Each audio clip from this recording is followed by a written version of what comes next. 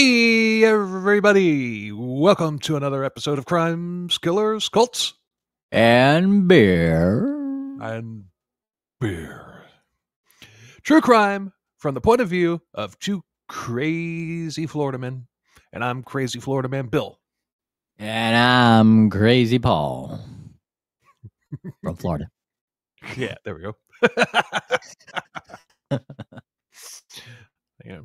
So I wonder if anybody picked up the hint that I dropped at the very end of BTK Part 3 when Oh, about I having the munchies?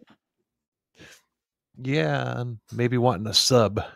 Mm, yeah. Because I told him I was going to make him wait. So I wonder if anybody figured out, oh, he said that he wanted a sub. Maybe he's going to do Jared from Subway. yeah. Get some fast food. I'm telling you, man, after going through this episode, I can't, I, I don't know if I could ever eat at Subway again, but we'll get to that. but anyway, anyway, this one's long. Well, not as long as BTK3, but still.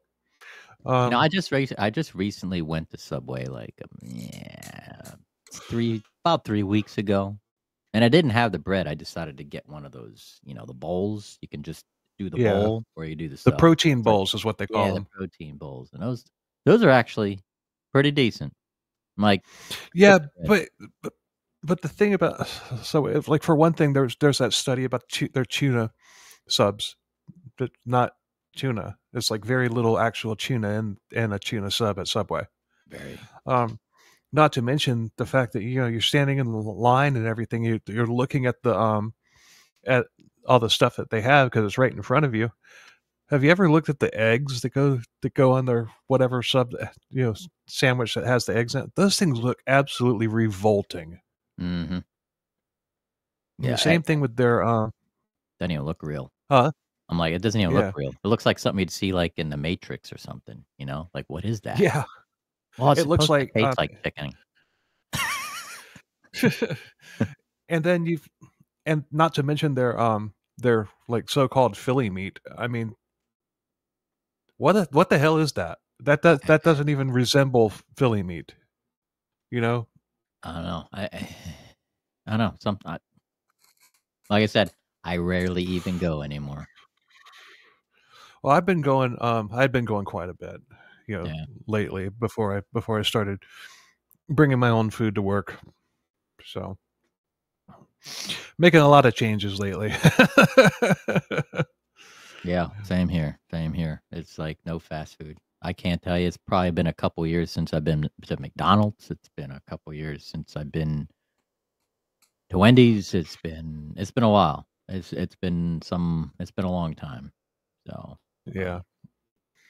But- I'm not a big fan of fast food. I mean, Wendy's hamburgers are or um McDonald's hamburgers are absolutely disgusting.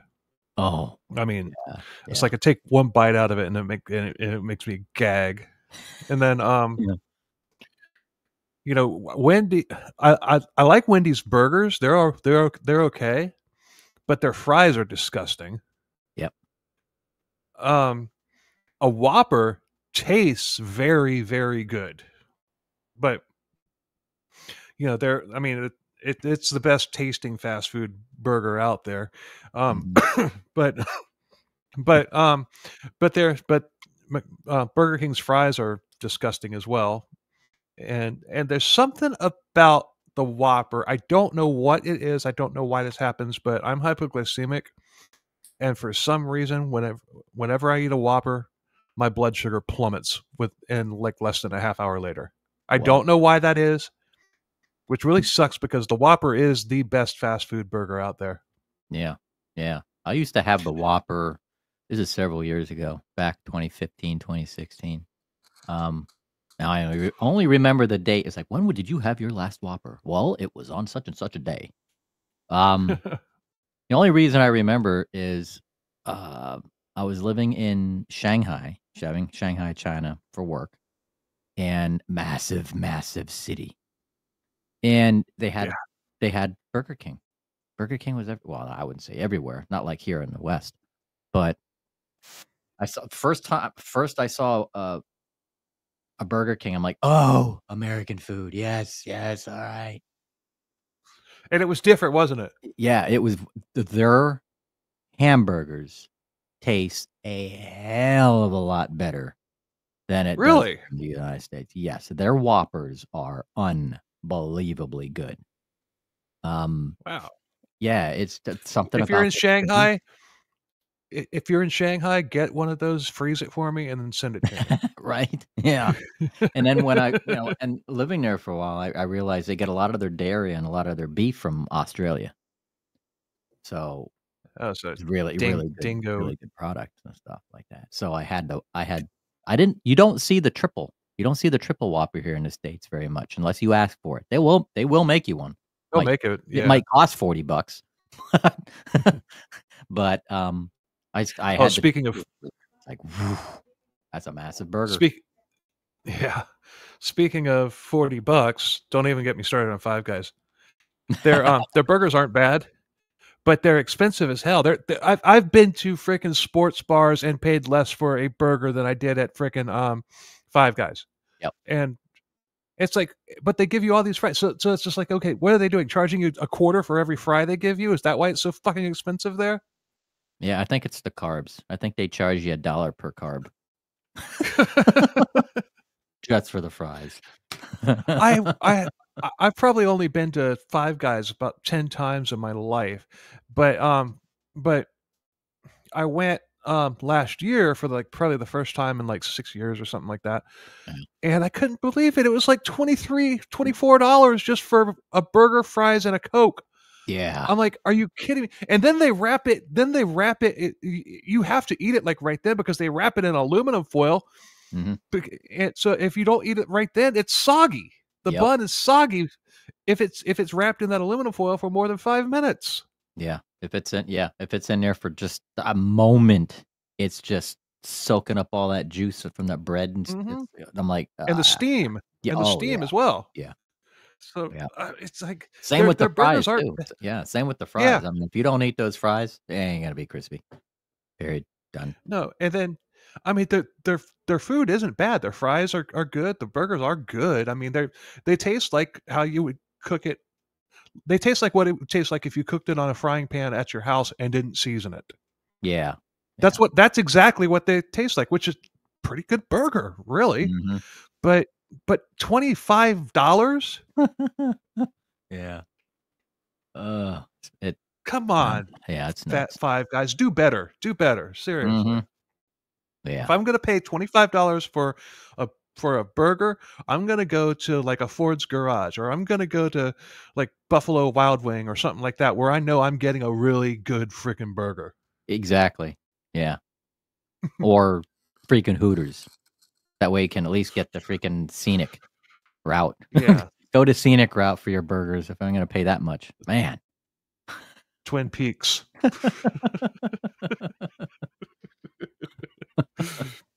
Yep. anyway. All right. Well, this opening digression is kind of on topic because we are talking about Subway, yes. which Let's is di- a let's fast dive food into restaurant. Dive into the, Yeah. the uh, Yeah, and it's a little. I I knew about what had happened, what Jared was, and all that stuff. I knew about it, but I had no idea he was as depraved as what I found out when, you know, in putting this episode together. Mm. it's a lot worse than I knew, and really. you know, yeah, a lot worse. um, I'm not going to give a trigger warning because this is a true crime podcast. You don't need a trigger warning. Exactly. You should You know there's going to be bad shit in it, but this- Mhm. but it's a lot worse. It's, it is a lot worse than I thought that it was. I had no idea. I knew he'd gotten arrested for messing with kids, but I didn't know the extent of it. Me neither. So, so everybody remembers Jared Fogle, right? The Subway spokesperson who was 400 pounds plus, and he ate nothing but Subway subs for a year and dropped 250 pounds. Well, if you're not, yeah. If you're not familiar with this story, other than seeing his goofy face on the subway commercials, which I don't see how that would be possible because um, the story was huge. I mean, like I said, I, I knew about it, but it, it was bigger than Jared was before he started eating Subway. hmm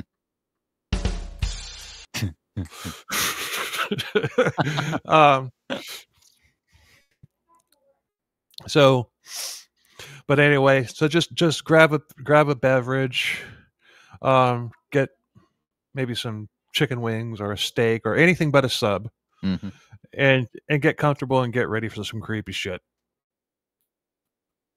Jared had a very dark side of his personality. He liked young girls, and he would use his fame and fortune to facilitate that desire to the point that he was even using his so called charity to fund it. He didn't even try to hide it. He had everybody fooled. Even Oprah loved him. The Muppets loved him. President Bush loved him. John Cena, LL Cool J. The list goes on and on and on. He was rubbing elbows with just about everybody who was anybody at during that time. He was every bit as big as they were, if not bigger. And I mean, like in popularity, not size. Yeah.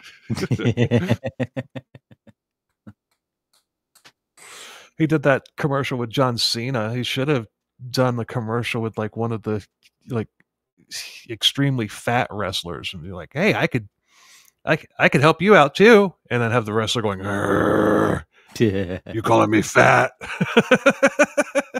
right. Get uh, out. missed opportunity. Missed opportunity there. Missed opportunity. But oh well. Actually, you know what? I kind of feel I feel bad for the celebrities that did pal up with him Oh, I know. because because of what he was. So Subway did know about it and they tried to cover it up.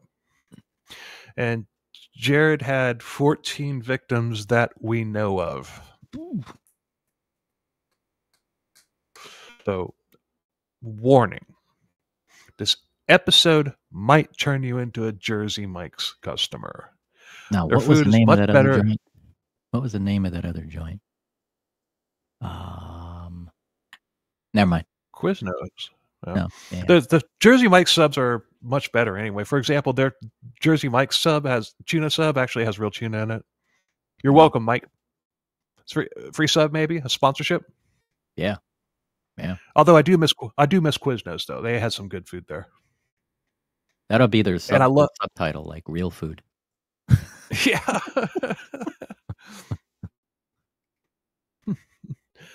I and I love those those commercials that Quiznos came out with with the rats and all that stuff. Those are great. those are hilarious. We Yeah. love you subs because they are good for us. They got a pepper bar. Uh, So, so anyway, go to Jersey Mike's. what was the name of that other Wait. one? Yeah. Wait, we're from Florida. We're from Yeah. Florida. Pub sub, man. Pub sub. Pub sub. Pub sub. God dang, I forgot about Go get yourself a pub sub. pub sub. Pub sub. Publix has a pepper bar too. Yeah. Now, uh, Publix does make some really good subs. yeah, fried chicken too, but I think we covered that on a different episode. Yeah.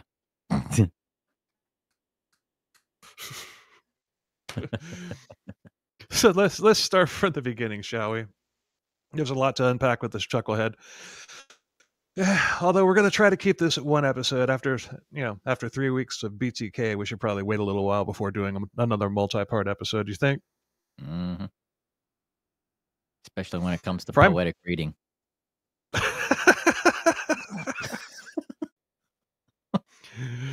Primary source of this is the documentary Jared from Subway Catching a Monster. It's on Discovery Plus. No, wait. Mhm. Is it Discovery Plus? I found it on Amazon. I can't remember if it's on Discovery Plus or not, but I, I found it on Amazon. But I also access Discovery Plus from Amazon, so I don't know. Mm. Um, Jared Fogle was born August 23rd, 1977 in Indianapolis, Indiana. Great. He's he's a Virgo. He's born day day 1 of Virgo season. But he's an August Virgo. September Virgos are the best, and everybody knows that. um, he had a normal upbringing. His father was a doctor, his mother was a teacher. He had a younger brother and sister. Good living family. As a as a child, he was the loner nerdy kid. Around sixth grade, he started putting on weight fast, and uh, he was the heaviest kid in his middle school, even likely outweighing some of the adults as well. He was between 250 and 300 pounds in middle school. Wow. He was a big Yeah. boy. By the time he graduated high school, he was 400 plus pounds, and everybody knows that the fat kid gets bullied mercilessly, especially if it's a fat kid who can't fight. Yeah, I, I remember a kid in high school that was, or junior high, that was huge. He was probably in the 200 plus pound range, and he was barely five seven. But he was popular. Why? Because if you messed with him, he'd kick your ass. Mm. he transferred in during the school year, and I think I think he was in eighth grade, and like within the first week that he was there, two punks from the football team jumped him after school, and this kid beat both of their asses badly. And I I witnessed this. I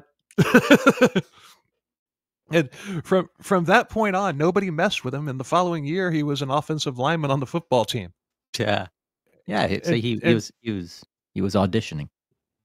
Yeah, and he was even on the team in high school. But you know, but Jared wasn't this kid. Jared was the kid who got bullied and went home crying more often than not. Mm. Jared had no friends, so he found solace in food cheeseburgers. Mm.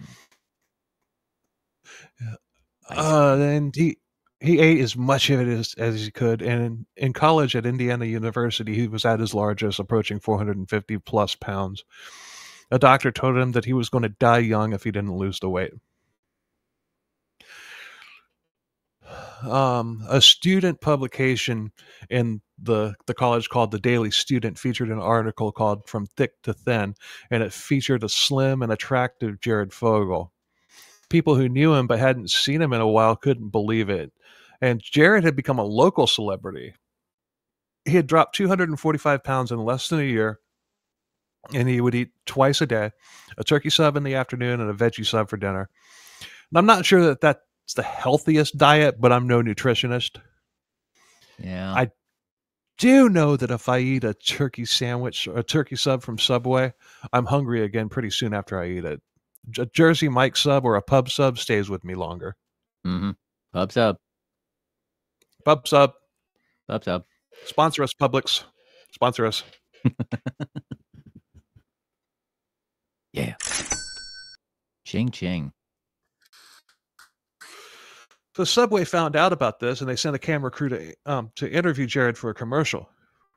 Even before that first commercial, Jared had landed his first girlfriend, who later became his fiance. He was actually happy for the first time in his life. The commercial broke, and people fell in love with him overnight. And he clearly wasn't an actor, which made him seem real to everybody. Um, you know, he, he clearly did do this. This wasn't some subway conspiracy where he had a nutritionist behind the scenes working with him, although it was a plain sub with no cheese, no mayo, just turkey and veggies. And it was a six inch sub, not a 12 inch. Eh. So he Yeah, started. So himself. he's, yeah, I was just going to say that. He's basically starving himself. yeah.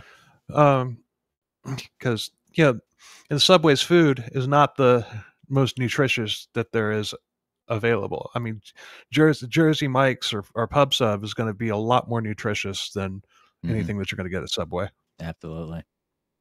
or even Quiznos too. I don't. I think that those commercials with the the rats. I think that ultimately, I think that was the death knell for Quiznos because Probably. I loved those commercials, but I know an awful lot of people who thought they were disgusting. right. I thought they were great. I loved those commercials. In fact, yeah, I, it's like I, I uh, I need to go on YouTube. I'm sure that those commercials are on YouTube. I just need to go like watch every single one that I can find because I love those commercials. They're Mhm. so great. Yeah. You know, they got a pepper bar. They got a pepper bar. Oh yeah. Oh, Oh, The subway sales climbed as a result, so Jared was hired as the official spokesperson. His life went from dull and boring to fortune and fame overnight. He was touring the world, doing events with Subway, doing appearances where he would share his story. He became a motivational speaker, and surprisingly, he was very good at it, cons- considering two years prior, he didn't even know how to say hi to a stranger. Oh. Jared, the Subway guy, was an international sensation. He would talk to kids in middle and high schools all over the country, and the kids probably loved him more than the adults did. Even South Park portrayed him, which we'll touch on later. Get away from Oh, what- post. What the hell? We'll, we'll, we'll touch on it now. Yeah. Season six, episode one of South Park was called Jared Has AIDS. Oh, Uh, I she- remember that one. yeah. Jared Mania had swept the, the country. Uh, no, I, I watched the episode. Yeah. Uh, that, that that episode was part of my research for this. Wow. um, Jared Mania had swept the country and obviously South Park, Colorado. And Jared was coming to South Park for an appearance, and the appearance is mobbed. People, oh my God, it's Jared! You know, he used to be really fat, baby. You know, the, you know how Subway or how South Park does their thing. Yeah. Hartman. But the the kid, the kids get to meet him after the appearance, and they ask Jared if he really lost all that weight by eating the sandwiches. And Jared says yes, but he did have some help along the way. He explains that he has AIDS. A I D E S, not A I D S. Mm. Of course, of course, he met a dietitian and a trainer, and the kids understand what the kids understood what he meant, but nobody else did. Before too long, a long scandal tanks Jared's career. He loses his fiance and and and literally everything because he everybody thinks that he has AIDS AIDS. um, he did a press conference saying that he he wanted to give AIDS to all the children. oh man. Uh, and and hilarity ensues. But the ironic thing is the foreshadowing there, because of the stuff that they were saying when he when he was like saying, "Oh, I'm going to give all the kids AIDS and all that stuff," and they're all obviously taking it the wrong way. It doesn't seem so far fetched now, does it?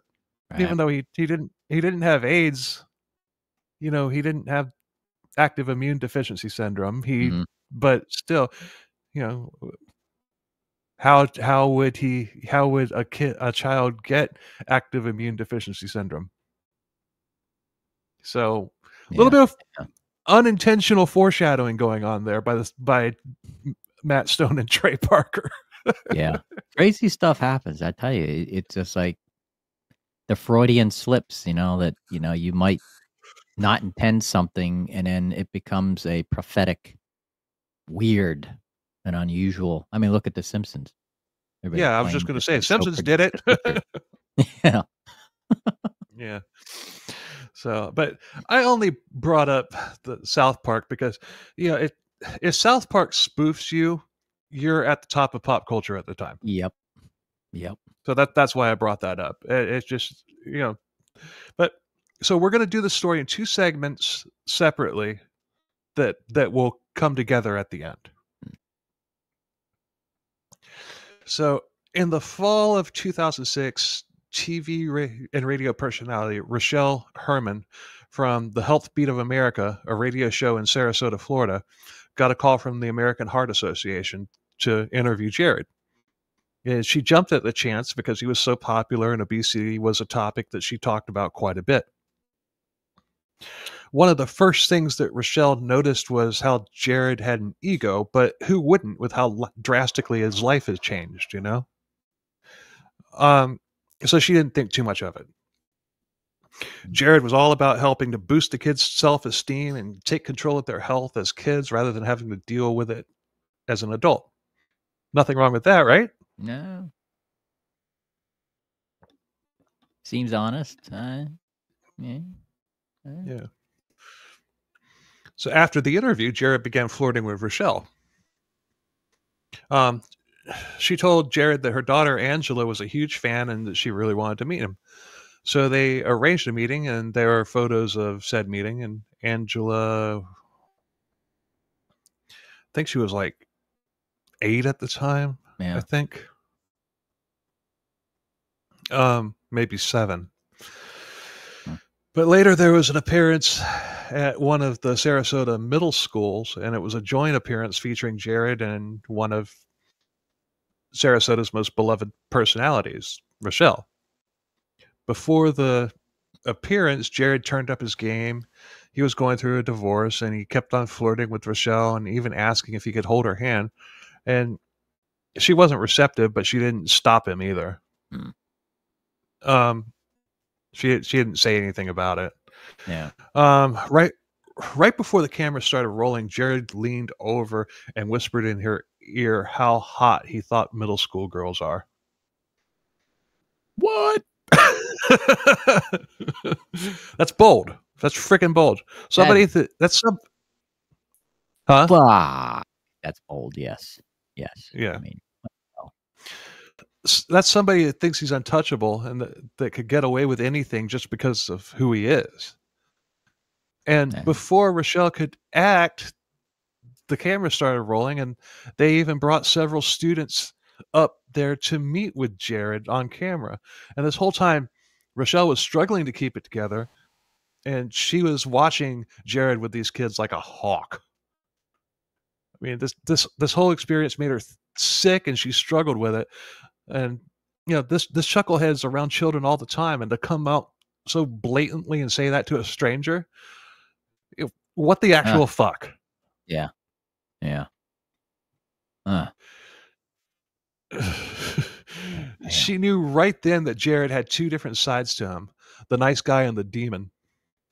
yeah. And she believed that he was a danger to children, and she was right. And she decided to find out and get proof on her own. She couldn't go to the police because she didn't have any evidence. All she had was a hunch based on one sentence that Jared whispered into her ear. Plus, even if she did come forward at that point, nobody would believe her. One thing is like, why? Why did he say that to her? Of all people, I don't it's like, know. why would he say that to a to a woman, someone of the opposite stranger. He- yeah, it's like what? Well, uh, yeah. and a mother at that. yeah. Boy, this guy is stupid. Yeah. but but Jared was squeaky clean. He had no arrest, not even a speeding ticket. I mean, so she needed to get Jared on tape, and you know, admitting it, and so she went into action. Six months later, the American Heart Association set up another interview with Jared. She got a hold of Jared's cell phone number, and she started calling him, and she began recording their conversations. And they started with small talk, and Jared was being careful, but wound up loosening up with Rochelle. And she began pretending to be interested in him. Yeah, set up. Finally, it began getting personal in between the two of them, but he wasn't talking about hot middle schoolers yet. Um, they agreed to meet up, and he was going to be on West Palm Beach soon. And so she was going to inter- interact, or she was going to record their in person interactions. Now, for those of you who aren't familiar with Florida, um, Sarasota is on the West Coast, West Palm Beach is on the East Coast. hmm It's probably about a two and a half hour drive from Sarasota to West Palm, maybe Yeah, even longer yeah. than that, Yeah, depending on traffic and whatnot. Yeah, and the route. Yeah. The fastest route isn't even interstate. To take one of those little highways to cut across the state because if you take I 75, you're going down there to um, Naples and cutting across Alligator Alley and coming out in Miami. That, that's Yeah. way far out of the way. So, That's a common route for the Cessnas too. I know a lot of pilots that usually travel that route. So it's about yeah, hour forty, two hours. It's still, I mean, it's still a good length. So yeah. So she shows up at the hotel at Jared's hotel in West Palm, and she goes up to his room with the recorder running in her purse. And Jared starts feeling her up, and she pulled away. He said it would be hot if she put her hair up into pigtails. Whoa, creepy. And she's like, he's like, will you do it for me? That creeped her out, and she decided she was going to bolt first chance she got. Yeah, what, what what he had said com- combined what he had said at the middle school combined with the pigtail thing convinced her that he was a pedophile. You know, Jared went to the bathroom and Rochelle bolted. She got to her car and she hauled ass back to Sarasota. Yeah, so, so she drives from West Palm to Sarasota, spends less than probably less than 20 minutes in the hotel, then drives from West Palm back to Sarasota. um, Jared called her back asking where she where she had gone, and Rochelle said that her kids had called, something came up, and she had to split. Now, required photo bomb. Um, but Jared bought it and said that they would try again sometime. Before too long, they would resume their phone conversations, and Rochelle eventually got him to open up the the monster that was his real self to her. Mm. Ugh, man, I already at this point it's more it's more involved than what I initially knew. Yeah, I, th- know, yeah, I I, didn't. Same here. I didn't know that he was being all flamboyant with it and ballsy and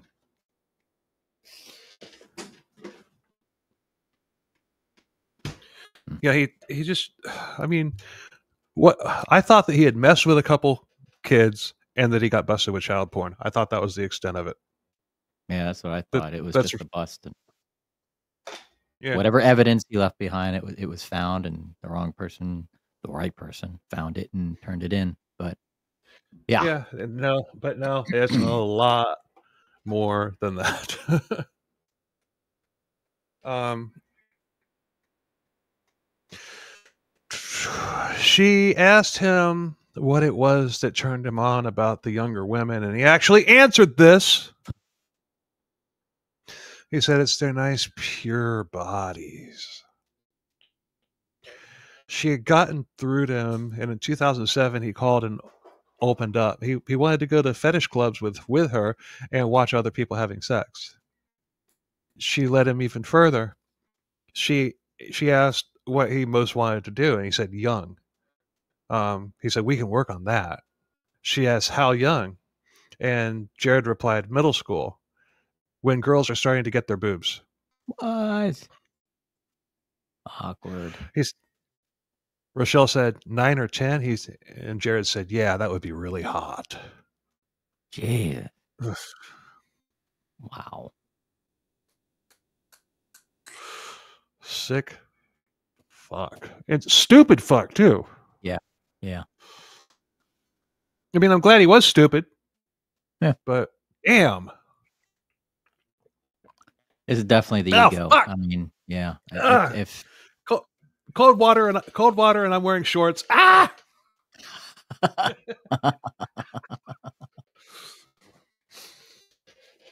That never happened with beer. right. Ah. Those flimsy plastic bottles that bottled water comes in. Oh yeah, those things are getting thinner and thinner. It's like, what the heck is this stuff made out of? Yeah. It might as well be a bag. It might be water. It might as well be water in a bag. Yeah. I just picked it up. It was a fresh uh, uh, one that I just opened. I picked it up, squeezed it a little bit too hard, and water right on my leg. Ah! It's Mhm. ice cold. like, like I said, that never happened with beer. Yeah.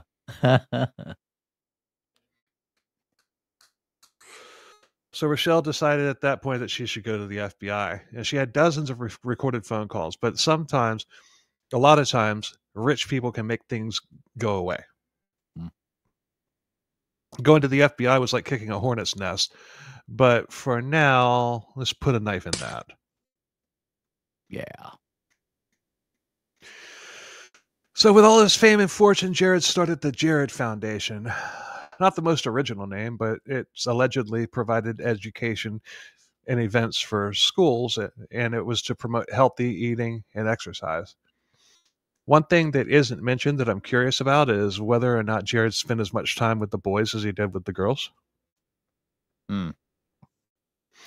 But, um, but the the Jared Foundation was just a front.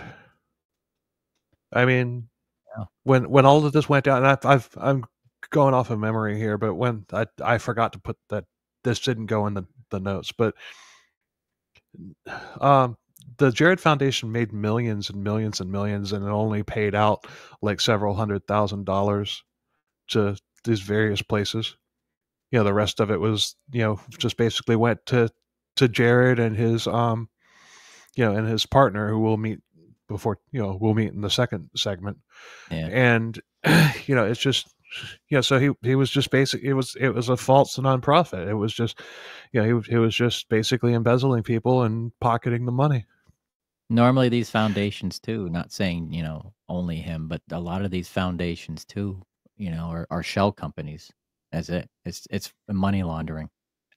yeah So I mean, if I was going to put together a foundation, like if I won like a billion dollar Powerball or something like that, I would start a foundation, but it, the money would go to what I Yeah. said that it was going to. exactly.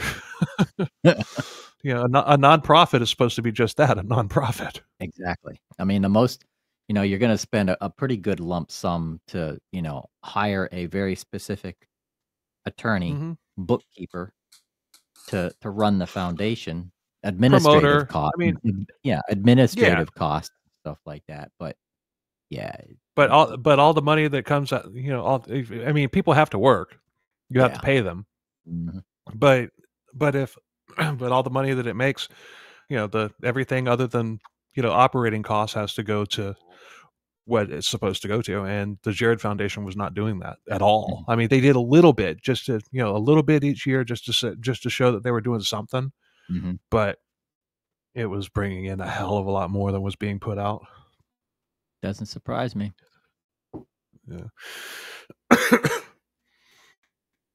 um, Rochelle had decided to go to the FBI with the recordings of Jared saying nasty things about kids. She went to the FBI headquarters in Sarasota and she was introduced to Agent Billings and she shared everything that she had with, with Billings. Billings took the material, left to show it to somebody else. And a little while later, Billings and three more agents came back into the room the agents were blown away that somebody of Jared's stature would say that crap, whether they knew they were being recorded or not. Told you. Told Yeah. you it was stupid. Yeah. Um. I remember Rochelle has a young daughter right in that age range. you know, and the agents agreed that Jared needed to be investigated, but since she had made these recordings without his knowledge, it was not only inadmissible in court, it was also illegal. Which is that that is true. You have to Mhm. if you're recording somebody, they have to be no not these radio stations that do prank phone calls or whatever, they'll be like, um, like the person answers, Hello, you're on the air. Oh, okay, and then they start. You know, Mhm. they're not going to say, "Hey, you're on the air." You know, there's just you're on the air, and that that passed. Well, in the '90s, they that was a loop. You know, that was how they got away with that. Yeah. I, I'm sure it's been changed. I, I think it's been changed, but now. But, um, one time on my old radio show, um, we had these guests on. They wanted to do prank phone calls. Why? This was in 2013 like Mm. when we had just started it, when I just started it, and they wanted to do prank phone calls. So I called. I'm like, okay, because I, I knew I knew I couldn't do anything like crazy like was popular in the '90s, Yeah. like on like what real radio did back in the day, like Drew Garabo yeah. specifically. Yeah. his his prank his prank phone calls were great. Oh, they were really good. Really good. but um but so I called a Papa John's in Los Angeles and I tried to get them, you know, to I gave them the address to another Papa John's like 2 miles away. Hmm. They're like, "Sir, this address is another Papa John's." I was like, "That's not, I'm like okay." But I knew that I knew that I was I, I knew that I could get in trouble if I tried if I did something like what you know Garabo or the Jerky Boys or whatever Oh yeah. did, you know. so I, I was just like, you know, maybe I could still do something and just have it come off as a mistake, but um, that would would be like harmless. And Yeah. they yeah. they figured out that that I was calling. They figured out that I was calling with the address of another Papa John's, and it, it, it wasn't funny. It wasn't as it seemed like it would be funny, but it wasn't. yeah, yeah. Now I could have I could have done something like what the Jerky Boys or Drew Garabo or whatever. I could have done something like that, but Yeah, this is Frank. Like- This is Frank. Frank Rizzo. Yeah. I Frank got some rocks. I got some rocks to unload. this is the super across the way, and I'm really pissed off. do you wear glasses? Without my glasses, I can't see. God damn it!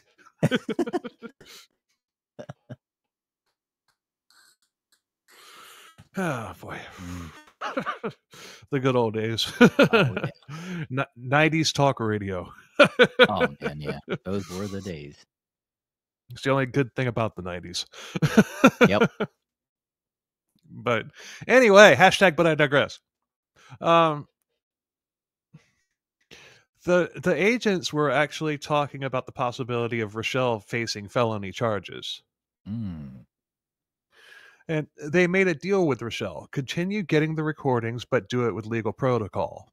She had certain things that she had to say prior to the recording, and she also had um you know she was she was told that she had to do this or she would be charged Oh, you know sh- yeah and you know the the things that she had to say prior to the recording was back was basically like 90s radio like i said you're on the air you know you just just some just something to make it legal you know yeah, yeah. See, that's those are the So she- of worms you gotta open. You know that you're you gotta realize you're opening up. You know, you go to the authorities. Be ready. Be ready yeah Yeah. exactly to go the whole way. no no good deed goes unpunished exactly. and so the the calls become even more graphic at, at this point and Jared, and Jared at this point trusted Rochelle one time she asked him how old the youngest girl that he'd ever been with was and he actually said 11 or 12 Damn. He said this knowingly and admitted it freely he actually searched these girls out did the act and and then and then gave up the information he, he was boasting about it Wow. I mean, this guy really thinks he's freaking untouchable. And we're going to get to something else soon. He knows what he's doing is wrong, and we'll we'll get to that shortly. Yeah. But the FBI wanted names, and Jared said that he couldn't remember the names, and yeah, you know, it's just like I'm I'm I'm hearing the words from Jared's mouth on these tapes, and I, I can't help thinking, what a freaking idiot. You know, I mean, frick, you know, talk about word vomit. yeah. Rochelle was performing extremely well, pretending that she wanted to partake in this these activities with with with him. Yeah, and Jared was eager to have an accomplice. He had an apprentice. yeah, because I, I guess he he figured if he found somebody that he can trust and you know partake in that that would also yeah, that she she definitely wouldn't rat him out. Yeah. Yeah. And and you know what? I wouldn't even be surprised if if like oh well she's all into this with me and everything. If I go if I go down, I can fra- I can blame her. Mm-hmm. have someone to go. you know what? I bet that's exactly I bet that's exactly what it was. Yeah. Yeah. I bet. Yeah. I don't know though. It- He was pretty stupid to start spewing that information out in the first place. So maybe Exactly. maybe he wasn't that smart. I don't know. yeah. Things that make you go, hmm. Oh yeah. Um, now, keep in mind, Rochelle's recording all of this, and if Jared found out, he has resources, and she was constantly worried that he would see through her ruse, and she was scared of what he might do to retaliate if he did find out. You know, he had enough money to make her and her entire family disappear. Yeah. um, working for the FBI was really taxing on her family. And every time Jared would call, she would record it. And then immediately after the call ended, she had to go hand it off to the agent. Oof. And it, it was at least every night, sometimes twice a night. Wow. It's like there's an agent outside, just hanging outside in the bushes in the front yard. Uh, There you no, go. No, no, worse No. than that. She had to get in the car and, and drive somewhere in town to meet. Whoa. If if Jared called her at three o'clock in the morning, she had to answer, record the call, and then call up the FBI and say, "Hey, meet me so and meet me here. I've got another one for you. Yeah, like meet me down on, you know, Fifth and Washington at the subway. Yeah.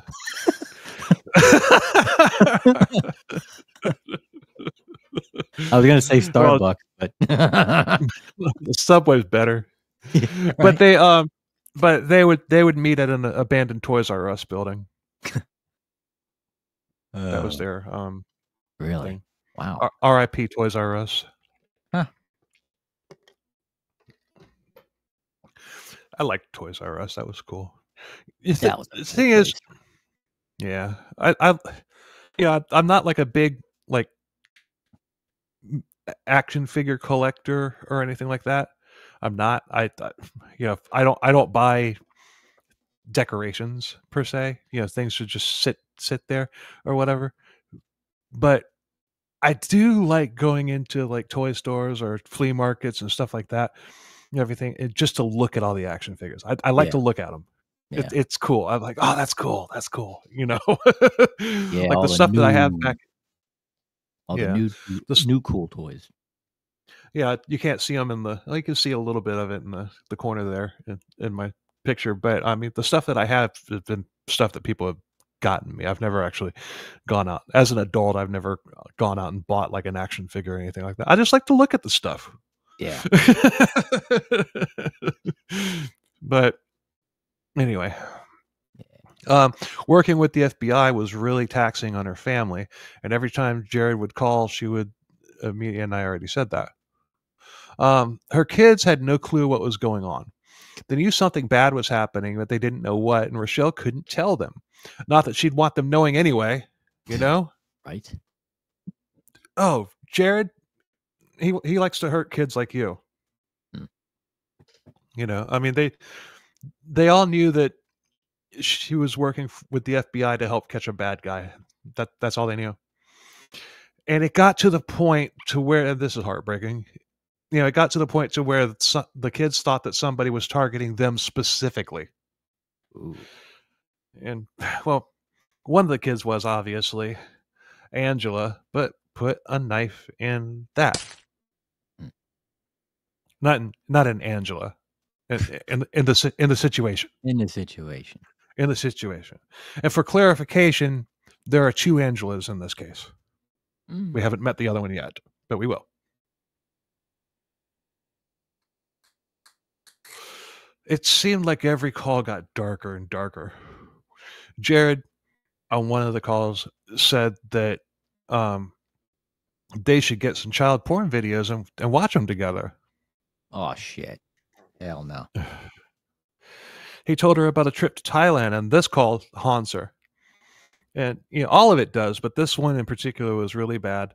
She asked him what the most unique experience that he had ever had with a young girl. Um, and he said that he said that it wasn't with a girl. He said it was a with a, a like a um a ten year old little bo- little well not even ten years old little boy in Thailand. Huh.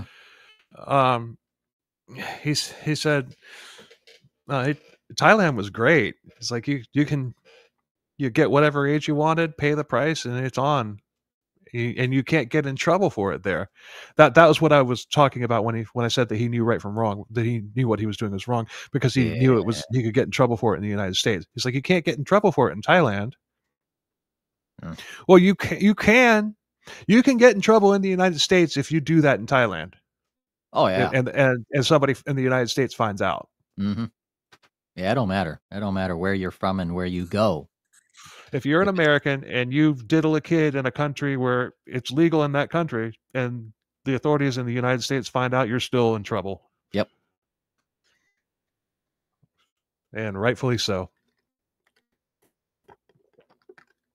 But he he even said that he would love um, for Rochelle to go to Thailand with him so that they could play. And I still can't believe this that this information that he's bragging about, you know. Yeah, but now he's talking about a, a young, you know, a little boy. So nobody's safe now at this point. Yeah. Um, he talks about uh, he spoke about how amazing it was having this little boy doing things, specific things to him, and him doing things to the little boy. And I like hot dogs. Have you ever have you ever deep fried a hot dog? I've never deep fried a hot dog. I've deep fried like chicken wings. Deep fried chicken wings. Oh yeah, that's the only way to eat chicken wings. Oh yeah, yeah. but- Um, not no, So- not not yeah, not that deep fried hot dog. Yeah, try have a deep fried. Twinkie. Deep fried Twinkies.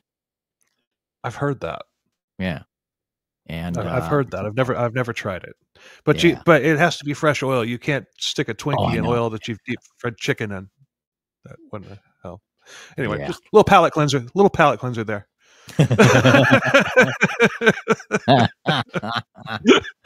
Uh, uh, so Rochelle then gets him to admit that he's.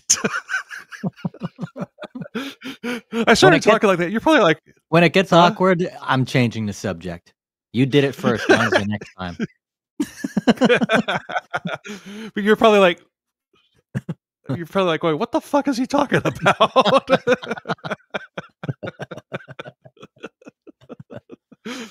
Uh, oh man. Rochelle then Mm. gets him to admit that he regularly did this type of thing in the U.S. as well as overseas. Uh, the the things that he admitted to doing had her throwing up as soon as she hung up the phone, and I have, I can imagine she's you know, as time goes on, she was kind of like, it's like bulimic yeah, at this point, you know. and I, I, Because- I mean, she's got guts. Just, I mean, this Mhm. this this woman's got guts to continue on. And can you imagine the like the PTSD? Well, number number one, she has to. yeah, right. Oh yeah, Right. she she has serious PTSD from it, which we're going to get to. But um, but she but you know, number one, she has to keep doing it, and number two, she wants to keep doing it because she wants this fucker behind bars.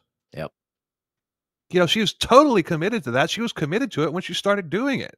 And can you But it- imagine but- not have not telling any you the only people that you're having communication about this is the FBI. You can't say anything Right. to anybody. You can't say shit to anybody. Yeah, and and I, I cover on I, I cover on the psychological aspect of that later on in the in the episode, and it's just yeah. so mm, mm, it's, you know, just um put a knife in it. um, but this operation went on for several years. Mm. Why? Because he's, even though he's admi- admitting to it, there's no actual proof. He could have just been spouting bullshit. Mm, yeah. Which is true. He could have been, but yeah, don't know. If somebody's admitting to all that shit and it's not true, I think he should be locked up just for that. Oh, I know. Yeah, yeah. Thought, please. Because if you're, if you're, yeah, if you're going into that much detail about it, then you've obviously put a, put a lot. But then again, think, you know, having those thoughts isn't illegal. It's acting on them is illegal. Mm-hmm. Yet, Huh? Oh yeah, yeah. yeah, yeah. I mean, I mean. Big Brother is watching. Uh, oh, I'm, I- I'm sure I'm on, on a, a watch list because of all the shit that I look up for Yeah. these episodes. I'm pro- I, my podcast probably is the seance. It's, we, we talk about some stuff on there. and I don't know. Conspiracies and stuff. Every now and then we touch on, depending on the subject we're on. You know, we'll throw a little interesting nuance of, yeah, So consciousradionetwork at dot com and the podcast is called The Seance. Yeah, yeah. and we're now on Rumble too. So Oh, okay. Rumble. Yeah. Rumble, get ready to rumble. Um, and one of the commercials, Jared says, I feel like I could do anything. Looking back on it, that's kind of creepy Yeah. because he was right. Oh, Without a victim to come forward, they had nothing. But uh, th- this was destroying Rochelle, and the worst was yet to come. Um, Rochelle kept a private diary about her calls to Jared because, I mean, she has to let it out somehow. Yeah. So she came home one night and somebody had been in her office. She found ripped pages from her diary. It, her daughter Angela was the one that had found the diary, and it crushed the relationship with her. You know, um, Angela was angry, and and and Roch- Rochelle decided that was it. She's done. So, um, in 2009, Rochelle and the FBI came up with a plan to lure Jared to Sarasota and to catch him in the act. Um, Rochelle was setting up a fake birthday party for her son. You know, I I got to put this out there. In 2007, when Mm. all of this started with Rochelle and the FBI, Chris Hansen's To Catch the Predator was still on the air. Um, why not just arrange something with him where Rochelle would promise to have a young girl waiting for him, and then when he shows up, Chris Hansen is just sitting there waiting? Yeah. You know, there, there's no reason for all these years of Rochelle polluting her mind and harming her family with this. Hi, Jared. Why don't you have a seat? that Yeah. would have been the biggest episode of To Catch a Predator that there ever was. If Chris Hansen had brought down Jared Fogle, you know, Yeah. Yeah. missed opportunities, missed What's ama- opportunities. Now, how, how long, how long was this uh, operation with the FBI and and turning over recordings? How long was that? Three or four years. Wow. You know something? That's I, mm, I blame the FBI for that. That's that's bullshit. It is. You know, yeah. I We'll mean, you're to supposed We'll to protect the public and and but not you know freaking put the people Yeah. that are supposed to help you guys freaking in jeopardy. Yeah. I mean, yeah, and I, I, I touch on that too. I mean, Mm. Put a knife if, in it. if I'm not on a if, if I'm not on a list, I will be after this episode because of the because of my critique of the FBI. FBI, open up! right? Oh shit.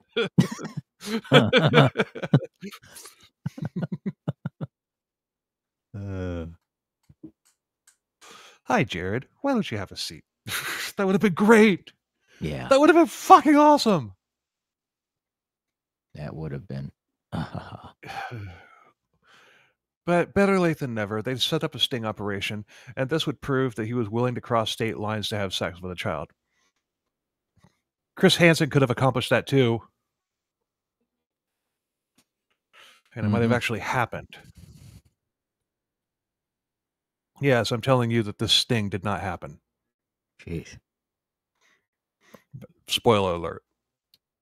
Mm. But um, Rochelle tells Jared that this was her son's birthday party, and that she was, you know, she was going to have a big party, and you know, for a bunch of kids and everything, big, huge to do, and she invited him to come. And Jared said yes. He didn't need any prompting either. He wanted Rochelle to invite all of his, her son's friends and all of their brothers and sisters. He wanted a huge selection. Jeez. And he said that he wanted to see all the kids checking out Rochelle in her sexy bathing suit, looking at her big boobs and her nice big ass. He he wanted to watch kids, you know, checking her out, which is I don't know. Awkward. Mm. Kids don't start checking out other kids' moms until they get to high school. Right. Oh.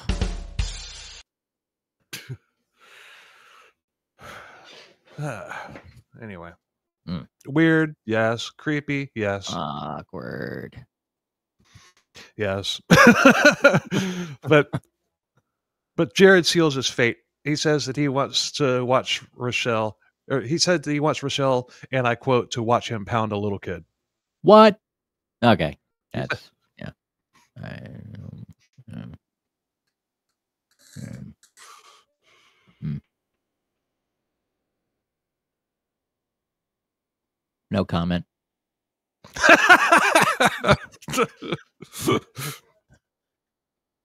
oh man. Ugh. then he starts coming up with ideas for Rochelle to prepare the kids for him, and he's literally explaining to Rochelle how to groom children.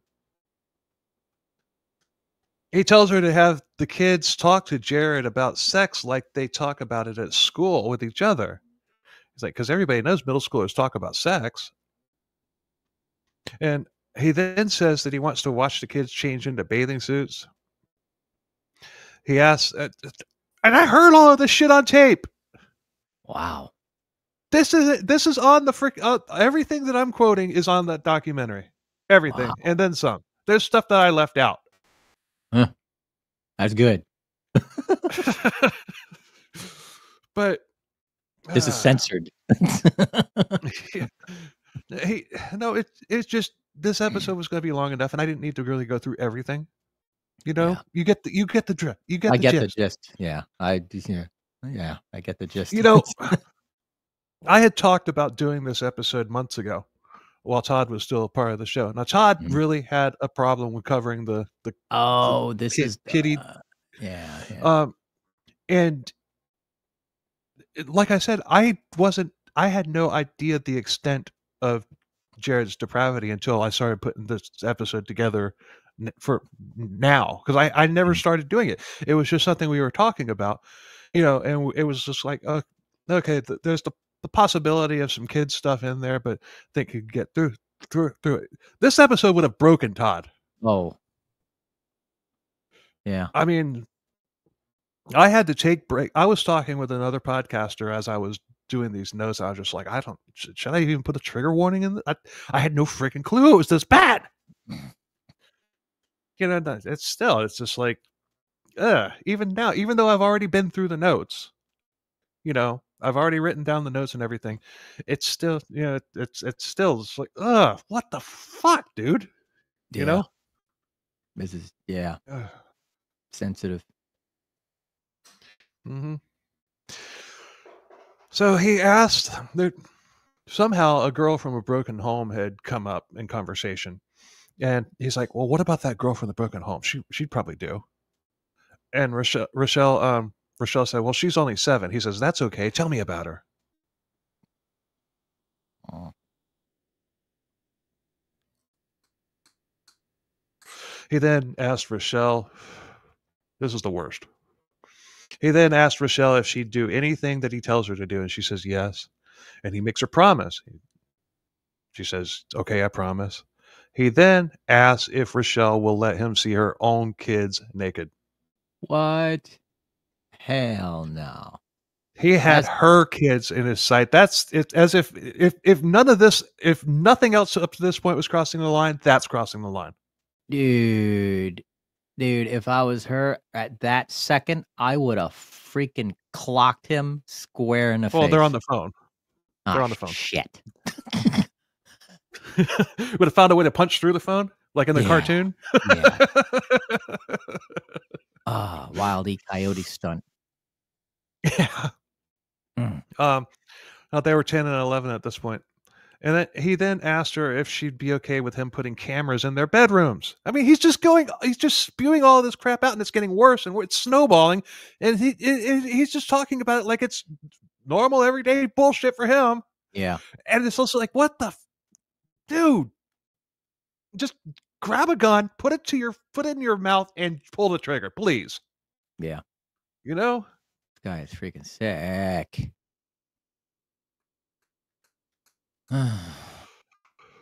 So Rochelle played along because she had to. But Jared's schedule changed, and now he would be there in three days instead of a week later. But the FBI, the FBI couldn't get ready in three days. I call bullshit on that. They could always get I do too, but Shit. I do too. But once again, call Chris Hansen. Yeah. Hmm. but Jerry couldn't make the original schedule. It wasn't possible. So the party never happened. And Rochelle's nearing having a, a, a mental breakdown, especially once Jared set his sights on her kids, not to mention she saw him on TV multiple times a fucking day. Yeah. I would have just unplugged cable and just said, no commercials. Yeah. uh, one night she hit a breaking point and she went to see a friend of hers, um, Sean Ozzy Osborne. It was Hmm. Sean Osborne, but he just he was a radio host, so he just threw in the Ozzy part. But Ah, um, he was a radio talk show host. And they were- they were friends. They were close. And she said that she had to talk to somebody, and she chose him because of how close they were. Yeah, and she made him promise not to tell anybody. And she told him that Jared from Subway wants to see her kids naked, and if she didn't let him, he was going to kill her. Osborne thought she was crazy, and of course, why wouldn't he? That sounds pretty far fetched, Yeah. you know. Hmm. But she, she, but she couldn't tell anybody, and it was ripping her apart. Oh, you know, I, yeah. So, so, but he he said he said he's just like, well, she was so convinced, like she's either crazy or she's telling the truth. It's one or the other. hmm But he was he wasn't sure what at that point. But he didn't report her or anything like that. You know, it, and it was probably something along the lines of just like she, she, said, boom, and just that little bit of a release right there, probably made her feel at least a little bit better for a little while. You know, Yeah. Yeah. it's like I I could you have to it's like if you're- if- yeah, if you're carrying something that weighs five hundred, you know, five hundred pounds, and you remove one pound of it, you're going to feel a little bit better for a little bit. hmm You know, so anyway, Mm. shifting gears to 2010. Jared was getting irritated because Rochelle wasn't meeting with him in person and began contacting her less and less. And Rochelle still didn't feel safe, and she knew that kids all over the US and the world weren't safe either. She was coming apart. She wanted desperately to tell somebody, but she was under an FBI gag order. So on May 13th, 2010, she went to the Sarasota Police Department and she actually turned in the FBI for not doing due diligence to close the case. There you go. And she talked with a detective about the case and her concerns about the kids, especially her own. And the detective thought she was batshit crazy until she showed the tapes. She had made backups. Good on you, Rochelle. she had made Yeah. backups. Hell yeah. The detective was like blown away. She was like, What? Holy shit. But the problem here was Jared lived in a different state and no crime had been committed in Sarasota that they knew of. Mm. Well, I mean, there's there's no evidence that anything happened in Sarasota, other than a creepy whisper in the ear. Yeah. Yeah. But they believed her, and the detective spoke with the FBI, who did confirm that there was an ongoing investigation on Jared. So Rochelle told the detective that she's like, "I'm going to play the tapes on the radio show."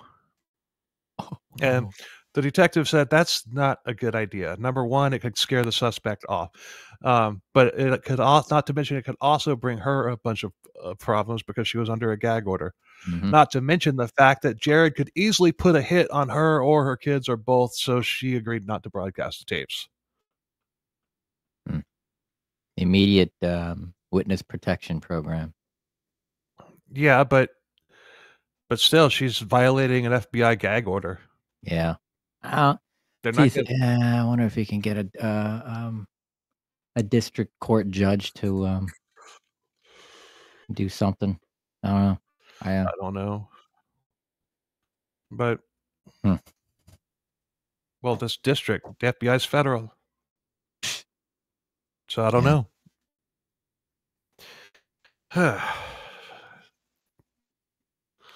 Haven't done a yeah, unless they contacted the police department that uh, he lived in. Yeah, and we're we'll get to that in the second segment. Um, you know, here in Florida, you have Rochelle, just this this this lone the Lone Ranger. Yeah. you know, and she, yeah, it's literally lone the Lone Ranger. Uh, that's what I'm going to call her, the Lone Ranger. Um, Hmm. and she, you know, she got her like doing all of this herself and everything, but in Indiana, a freaking task force gets on board. So I need a new guitar. Yeah, I I, I do. I, I think. I think I want I think I want another seven string guitar. Yeah, oh, I mm, I, I want another one. I, I think it just I, I I just you know they're they're really seven strings really cool guitar and everything. another palate cleanser. there you go. Seven strings, man. Got to keep it odd. yeah, that way it doesn't go into threes. Uh, Uh,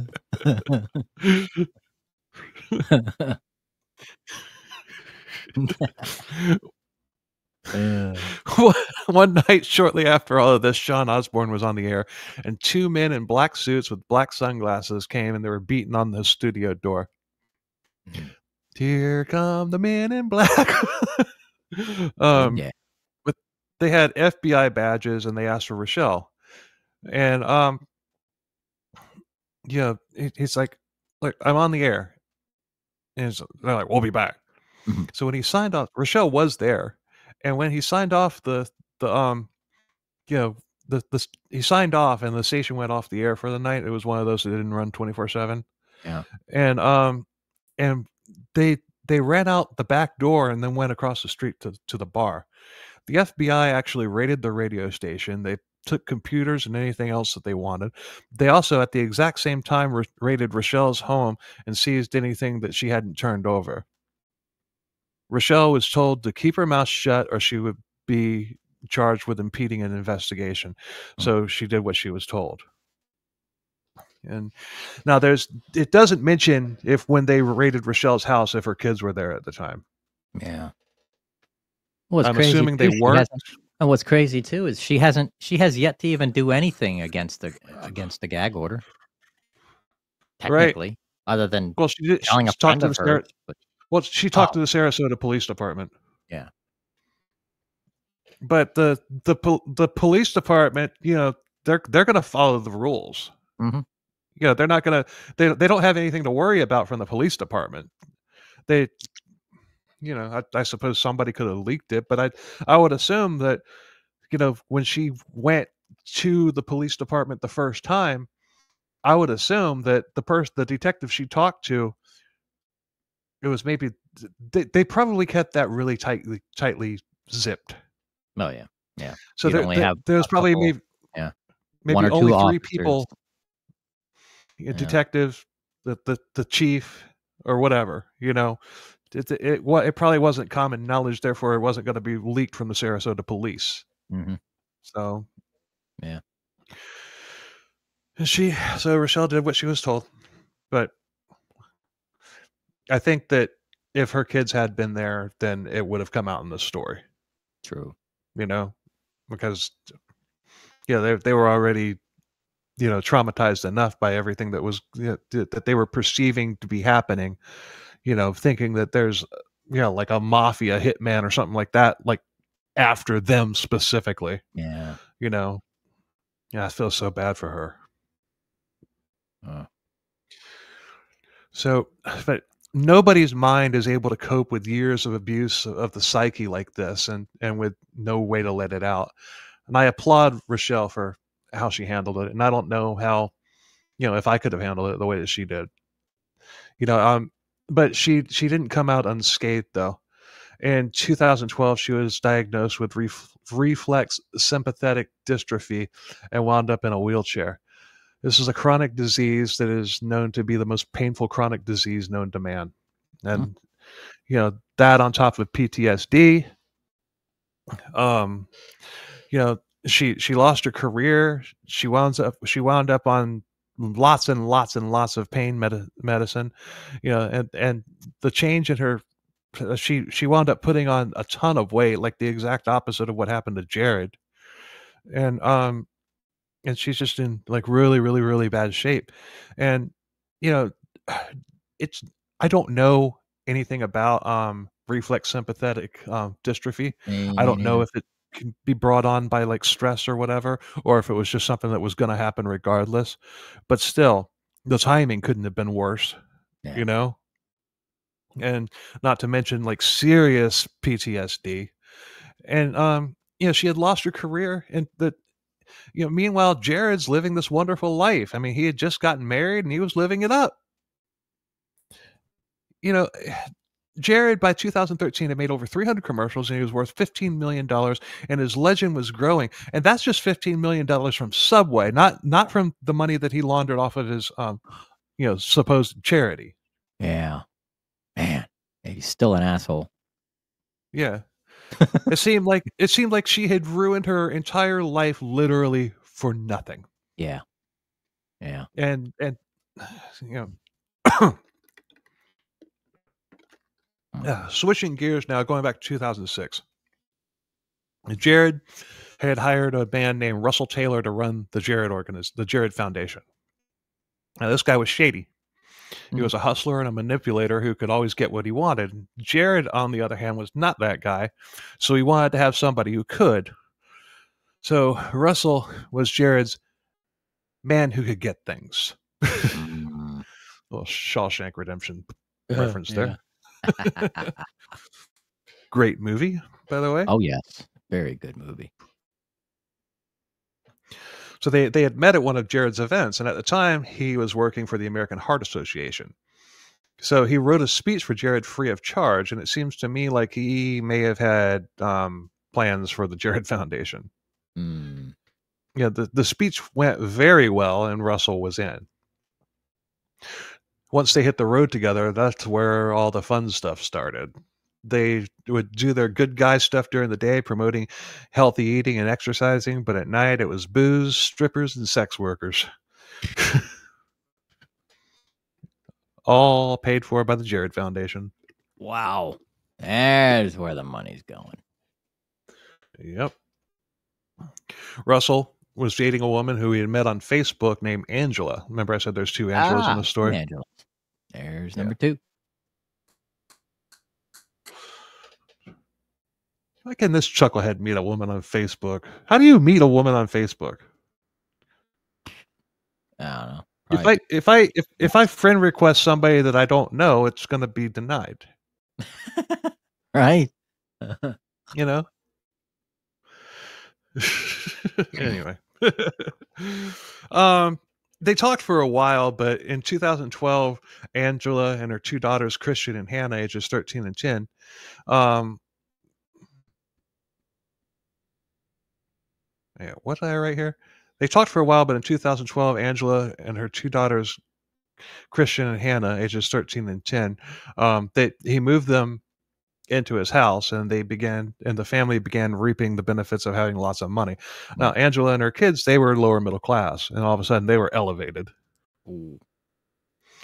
Russell was a bit of a film buff and he loved making, you know, movies like like legit um very well produced good, you know, movies that looked really good and he he'd made them off, off of you know, the stuff that he had, you Yeah. know.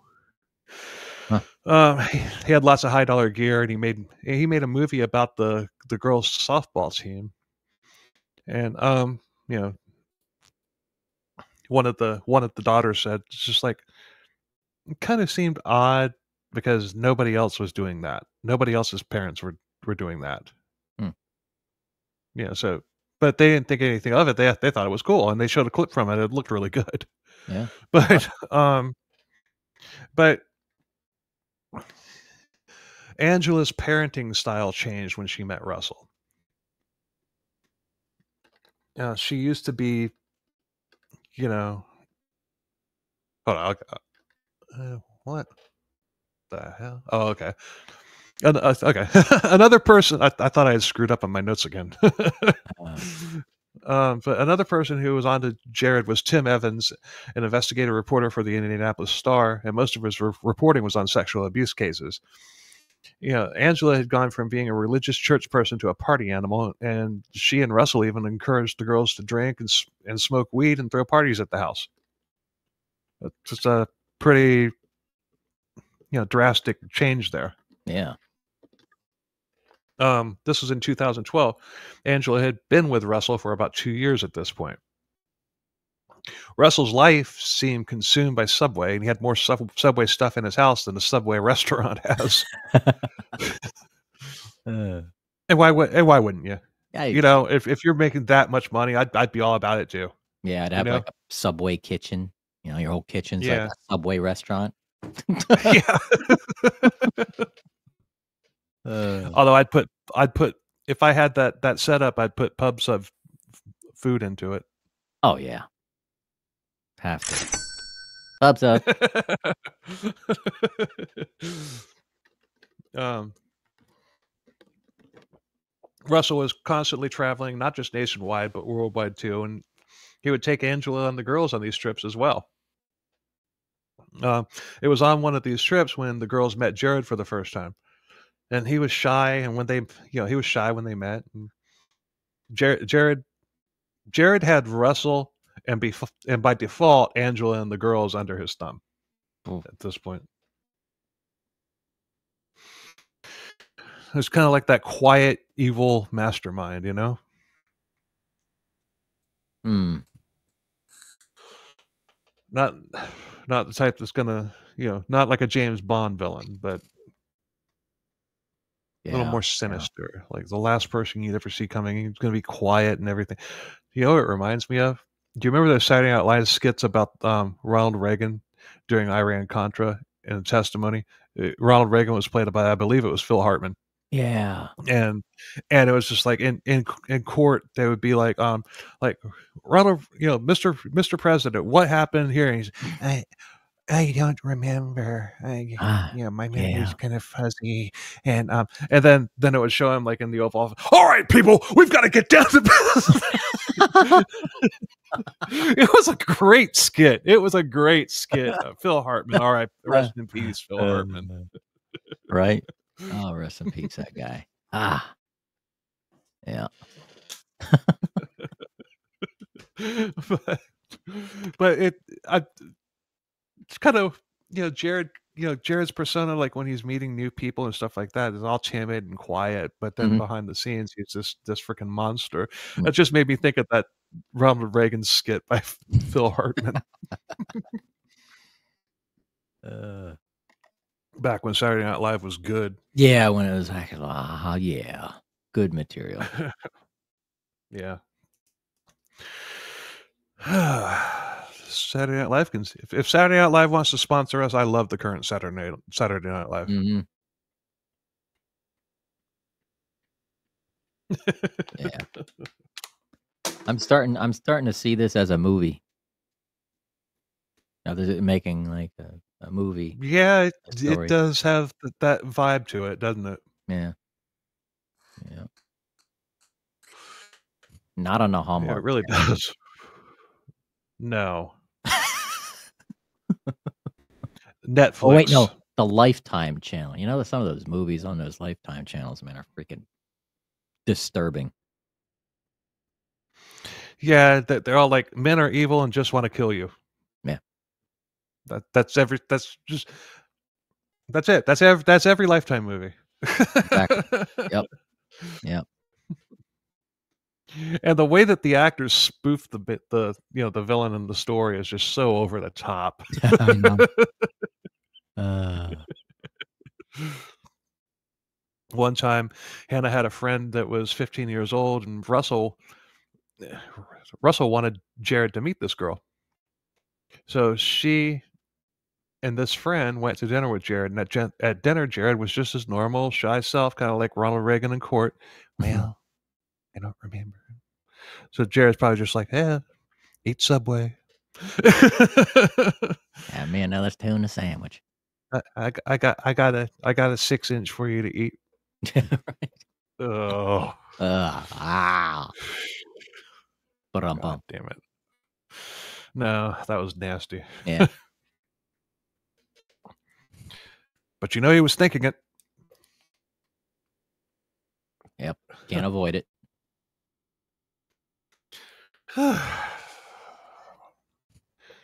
Still like being on the show there, Paul? I'm just, hey, it's a ride, man. It's a ride. I'm just coasting, man. The roller coaster. Ro- roller coaster of smut. Uh, oh God. Um but after the dinner, Jared was excited when he was talking to Russell about wanting to see her again. And he and he would text Russell about how hot she was and how he wanted to have sex with her. And the girls thought it was just guys having perverted conversations, like like a pervy uncle who ran his mouth but would never actually do anything, you know? yeah. Not that that's okay, but it happens. hmm you know. Yeah, you grab them right in the pussy. Right. what, what, what movie was that? I'm I'm trying to think. That was Donald Trump. Oh yeah, but there was there was uh, there was there was something not long before that. There was something. Was a movie?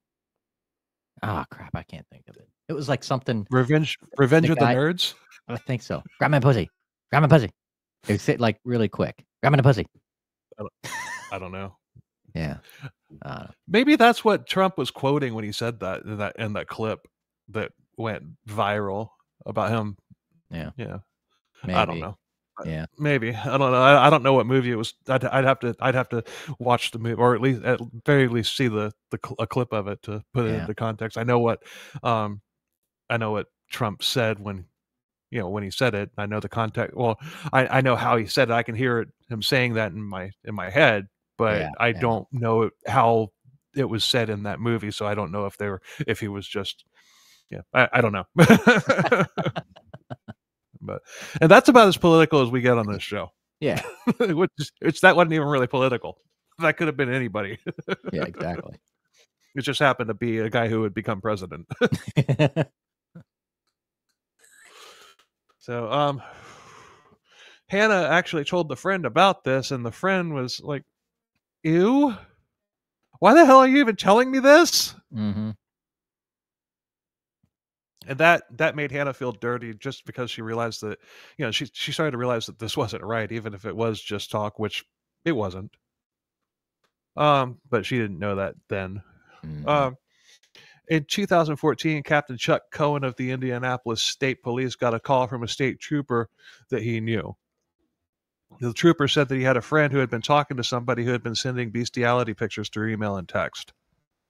Whoa. Um, he got he got detective to to look into it to find out what this was all about. Possession of bestiality photos is not a crime in Indiana, but the act of making said pictures or videos is. So he wanted to see if they could take down the people in the photos. So they they tracked down where the communication came from, and it was it came from none other than Russell Taylor. Mm. Wow. the first the first nick in Jared's armor came from a fucking bestiality picture. Wow. That was what uh, got an, an actual law enforcement, you know, that was actually going to do something about it onto the case. Man. That sounds kind of counterproductive too, you know. Honestly, I'm I'm Indiana, surprised that you know it's not allowed it's not illegal Not to have pictures, but yeah, but I'm like, what? I'm like, okay. well, it's well, I mean, it, it I- I think it's I think it's like that in a, a lot of states though. Mm. But but the but then again, the thing is um that could have come from anywhere. You know, I, I'm surprised. I'm, not. I'm not knocking the officer that decided to go look into it because good on him. But um, but still, it's just like you know, I, I was scrolling through Twitter one time, and you know how like Twitter will put up picture, you know, like posts from people that you don't follow yeah. you know, just random feed and everything. One time I was scrolling through there and I found a you know a of a really crap video. It looked like it came from Japan of a of a girl getting fucked doggy style by a dog, Whoa. and that just came up on fucking Twitter. Yeah. You know, it was it was Twitter, not X, but still, it's just like. So my, my, my point is it's just like I'm surprised that he went th- through with it. It's just like that stuff could be so random, you know, just it could have come from anywhere. hmm Yeah, I I just So for him to saw something on on Facebook. I think it was today. I saw something on Facebook, and, and it was on a it was on a podcast group, a public prod, podcasting group. I know what you're talking about. I think I saw the exact same thing. And you saw like It- the, the women on there. I'm like, what? Yeah it, it was a hacked it was a hacked um a hacked account from somebody and it was like it it, it was like a um an ad for some type of like um like s- some sort of like sexual enhancement drug or something like that and it had actual porn video being played yeah Yeah. meanwhile meanwhile if i say something if i say something naughty about um you know uh, about somebody then i get banned by a, for a month But meanwhile, this shit gets up there and nothing Mhm. happens. Exactly. Yeah. Uh, So, Zuckerberg, you can bite me. It- at least, tw- at least Elon Musk was trying to put a stop to shit like that. Mm-hmm. Zuckerberg's not.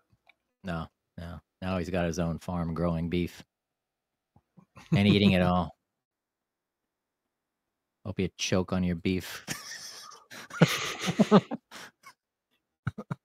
So in 2015, a search warrant was issued to search Russell's house for evidence of bestiality. While there, they found that and a lot more. There was a, an adult female in the pictures with an animal, and, and guess who? It was Angela Taylor, Russell's wife. oh. They also found um, hidden cameras all throughout the house, specifically in Hannah and Christian's rooms. Um, the police found more than 500 explicit photos and videos of children. Some of the pictures of were of Hannah and Christian themselves, like changing and you know, uh, uh, you know, Russell was actually recruiting underage girls for child porn, and they didn't even know it. And it's Wow. like they would let they would let these teenagers come over and party and everything and drink and all that stuff, and of course they're going to go off and have sex. So they had videos of that too and some some videos even had Russell plowing a teenager. Um, yeah, and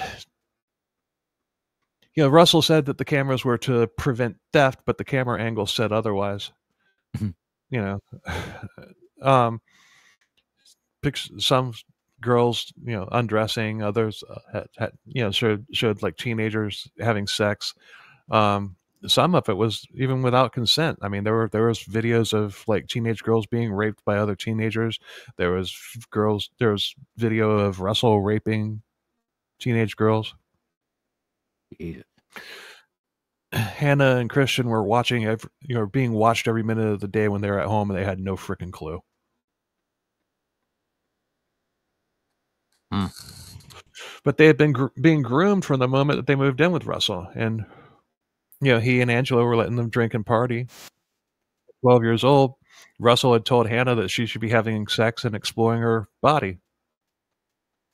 Hannah said no, and then the next day there was a dildo waiting for her on her bed, along with a laptop with a s- with a porn site pulled up. What? Obviously, with the cameras, the, the hidden cameras rolling. Yeah. Jeez. When Russell was arrested, both Jared and Subway released statements. Jared said that he had no knowledge of Russell's crimes and he was shocked by it, and he had severed all ties to Russell. Hmm. Subway, they had no affiliation with Russell or the Jared Foundation, and they were disgusted by the claims, and they were glad that Jared took quick action to sever ties to Russell. Hmm. Just, yeah, nothing. Just like nope, just passing the buck. No, no, no, no, no. 12, id- 12 victims were identified and the text messages were seized and, and read. Russell had sent a picture of a naked girl to to Jared. Russell bragged that in the text, Russell bragged that he had tag teamed that girl. Didn't say who he had tag teamed with.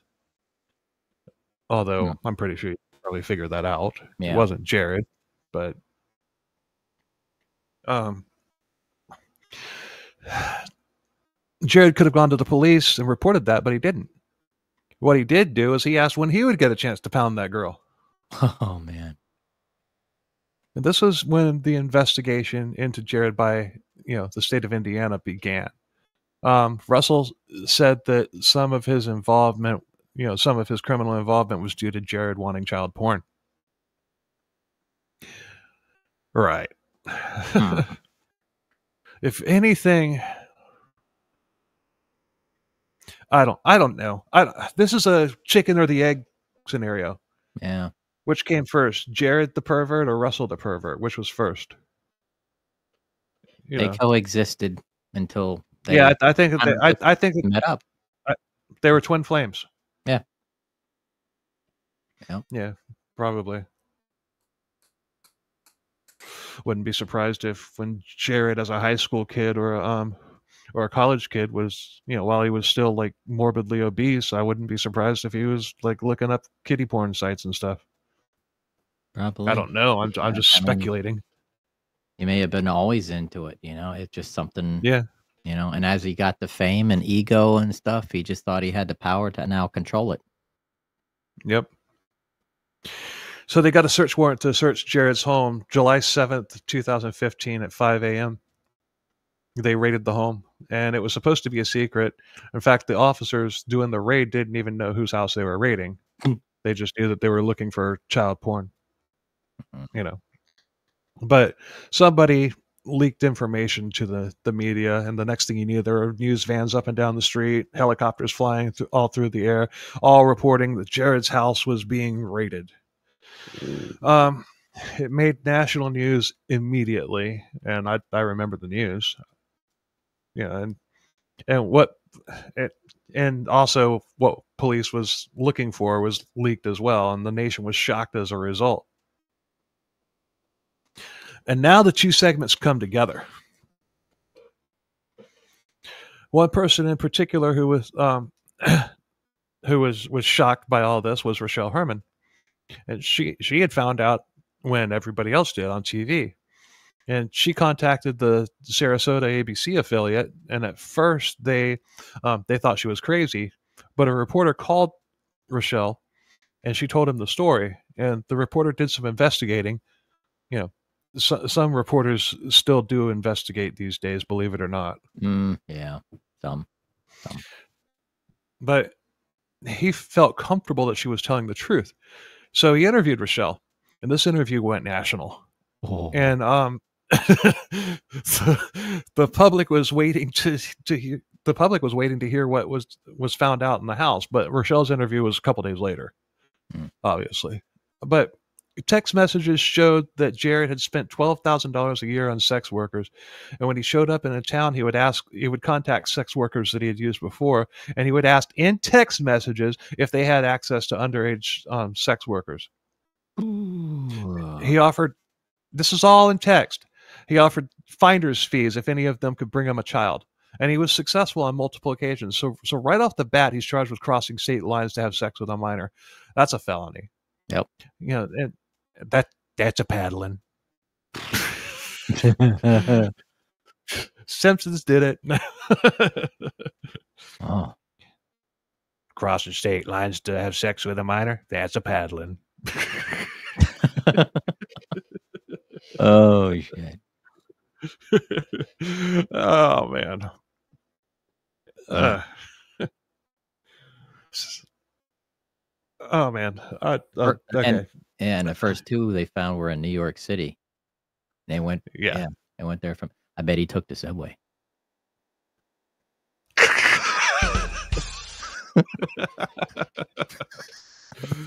oh man.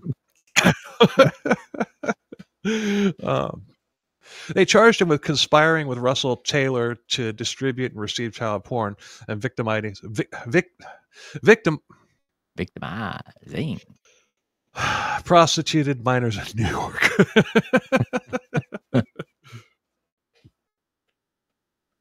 Deep.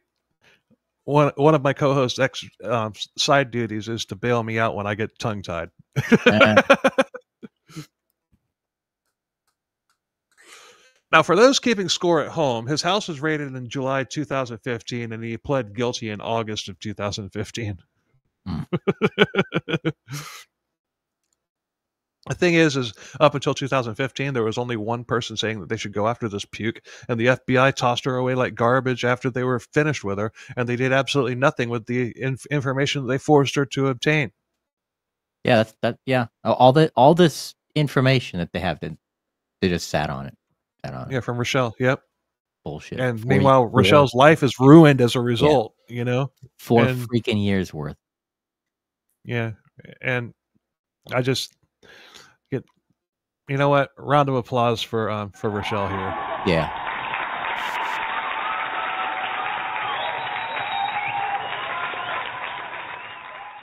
The And Ro- Rochelle, if you happen to hear this this episode, God bless you.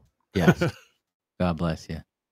And the vulgarity that the uh the Yeah. feds feds had on us. That's bullshit. Yeah, I don't know if I don't know if I could have done that. I no, I couldn't have. No. Yeah.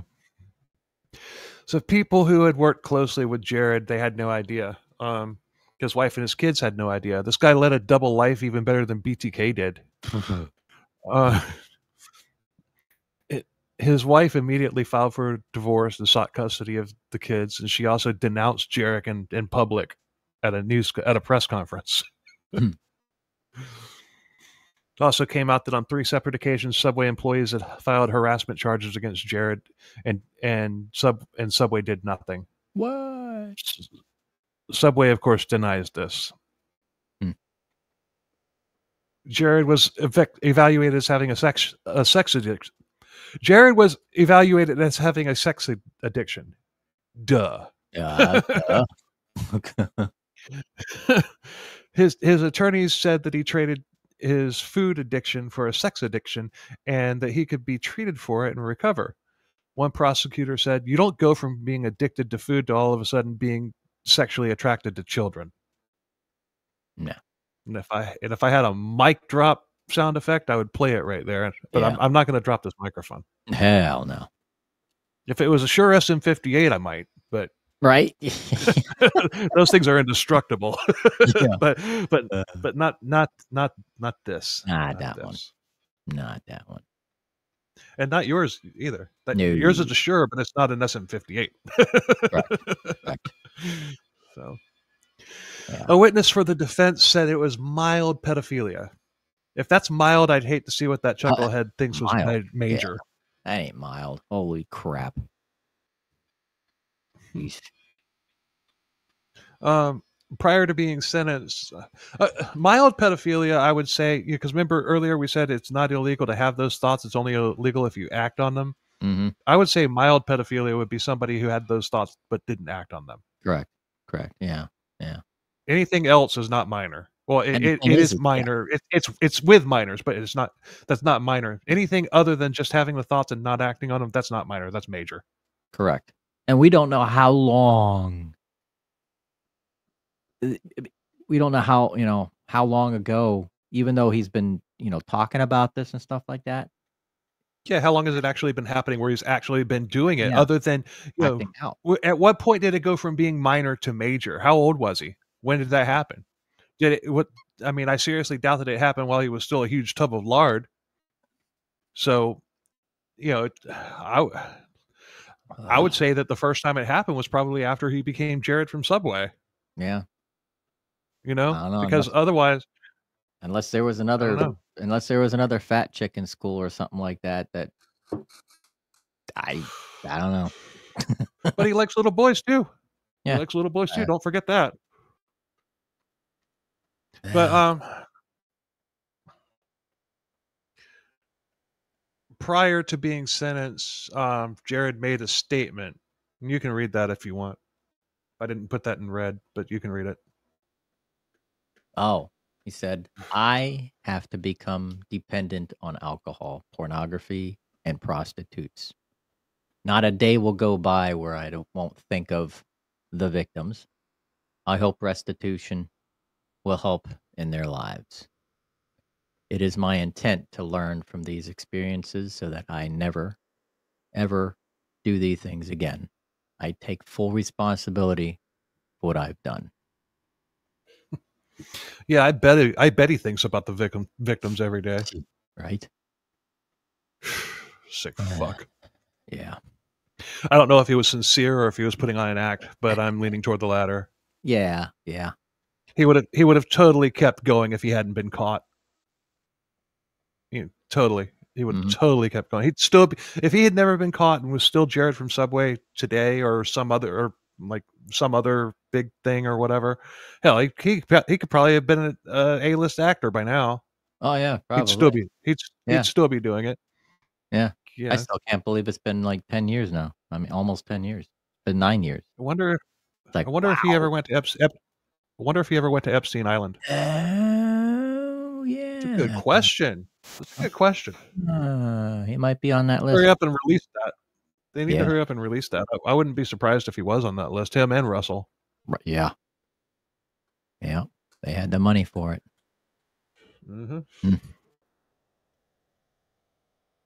Did you hear that um, Epstein Island just got sold, and um, the the person that bought it is gonna is gonna put a resort up there, Really?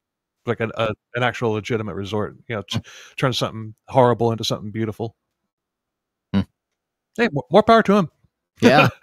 Yeah. yeah. Hmm.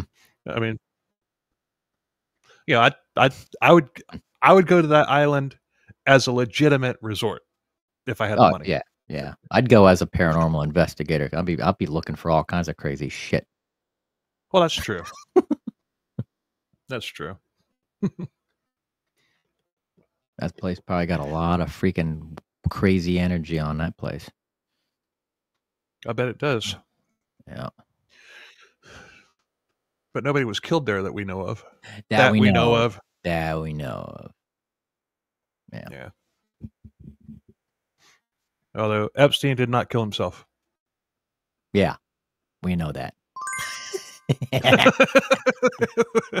oh yeah.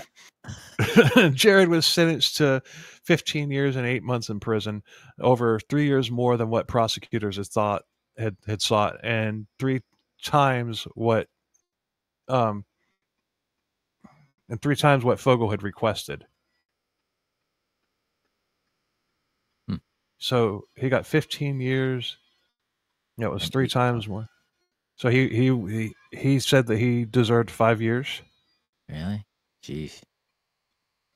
So he thinks in threes too. Huh.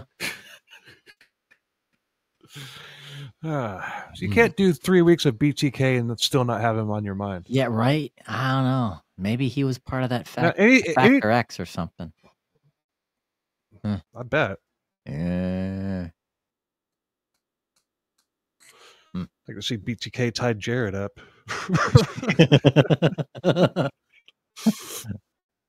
there you go. Early on, we used to do like serial killer um, death match promos. Might have to do one What if, it- BTK what if he, what if he can get AI? What if he can get AI to create a photo of that BTK tying up Fogle? I'm sure. I'm sure of it. AI will go. AI will go. Who's Jared? yeah, right. So, um, the judge suggests, you know, stated that the level of perversion and lawless, lawlessness exhibited by Mr. Fogle was extreme. So, to give him three years more than what the prosecutors had initially thought. Still, I think 15 years isn't enough time. He had 14 known victims. There's probably a lot more. Yeah, yeah. I do. I, mean- do like five or ten years per count per victim. Life sentence. Yeah, and and I wouldn't be surprised if while he was overseas, you know, you've seen the movie Hostel. Oh yeah. I wouldn't I wouldn't be surprised if he engaged in something like that. Yep. It's just the way he so nonchalantly, matter of factly talks about, you know, hurting kids. Yeah. But Mm. Rochelle's you know, Rochelle's tapes had a lot to do with um with the because it, it's rare for the the um the judge to say, okay, well the prosecutors said 12 years, I'm upping that three. That that doesn't happen very often. Yeah. But Rochelle's tapes had a lot to do with that. They were allowed to be played in court during his trial. So um, Russell Taylor got 27 years, and he and he turned state witness against Jared. oh man. Jeez. Uh, if as if it couldn't get any worse, it's going to get worse. as of 2020, Angela Taylor hadn't been charged, but in 2020, the, the case was reopened and text messages between Angela and Russell had been discovered. Angela said that she wanted to have sex with her daughters and she wanted to let Russell have sex with them as well and she would she had been watching them on the cameras along with Russell. And in 2021, Angela was convicted of sex crimes, and she got 33 years because of being a willing and gleeful participant participant in her own da- daughter's molestation. Wow. Hannah and Christian even testified against her. Holy shit. So, but Christian now has a daughter of her own, and she loves her the way that a mother should love her daughter. Rochelle's son and daughter struggle with what happened. Her son moved to Taiwan and never came back to the U.S., which is why in the documentary I thought his voice was kind of odd. Mhm. It's because he spent so much time in Taiwan and developed an accent. Oh, okay. So I was like, he sounds kind of weird. I mean, not not in a bad way. It's just it just did not sound like a, a voice that came out of a native Floridian. Yeah, yeah. You know, you yeah, you spend you spend a lot of time in some countries. A lot of time you start to develop mannerisms. I do Yeah. that if I walk into an Irish pub. Fifteen minutes, I'm I'm speaking with a British accent. but her her son is proud of Rochelle, and Angela is taking baby steps to um to try and get you know you know process everything that happened and everything. You know, R- Rochelle is the hero of the story, and so it- and so are um, Hannah and Christian. Hmm. Hannah said that she had never that she, at, the, at the time that the documentary was made, she hadn't met Rochelle, but she was grateful. I wouldn't be surprised if they've met, you know, since the documentary was made. I wouldn't be Yeah. surprised if they if they've met. Uh, In fact, I'd bet on it. No, I, never mind. yeah, me and betting is not a, me betting isn't a good idea. Go Packers. Go Baggers! Yeah, that game's Hmm. starting right about now. I don't care. I just I just want to see I just want to see the final score. Uh, Right? go Packers. You ought to have that. You ought to have it playing on your side screen there. That way. I could I could do that. I could easily do that, but but Uh. but the the stream it might take away from the my internet signal from this. So I'm Oh not going yeah, to. yeah. and I and I can't see my TV from where I'm sitting because of how I've got everything set up here. So Ah, so Jared, according to TMZ, two years into his sentence in January of 2017, Fogle was reportedly reportedly got his ass kicked by a fellow inmate.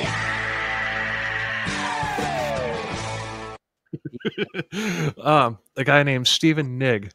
Um, he pushed him down and unloaded a barrage of punches to his face, and you know he- had to hit him. And that Mm. that that's how the whole thing started. That was a quote from Nigg's brother Jimmy. He told People magazine, he, he just he just doesn't like child molesters. he continued that Steve, Steve he's like he's like I can't figure out why you would want to do that to kids. so good good on you there, Stephen. Yeah. um and I, I I really hope that he's somebody's bitch. oh yeah, yeah, yeah. But, Every- um, I mean, it, a lot of people know that. You know, if you ever go to prison, just make sure the crime you committed was not against women or children, because you will get Yep. your ass kicked. Yep. Or killed. Yep. Get Dahmered. Yeah. God, the guy that took out Jeffrey Dahmer, there was a podcast that did a um episode on that guy as a um as he was the subject of the entire episode. Yeah. And nobody, you know, the, the co-host didn't know the the name. yeah. And then at the very end, um you know, at the very end, you know, well like leading up to the thing in the the the bathroom at the the prison where Yeah. he killed Dahmer. He's that's when it, the host dropped the ball on the co-host or dropped you know dropped the came clean with the co-host about who they were talking about and the co-host was like holy crap i had that that that's just, that's the guy that killed dahmer? I shouldn't have told you that because i could have done the same thing to you. Damn it. Uh,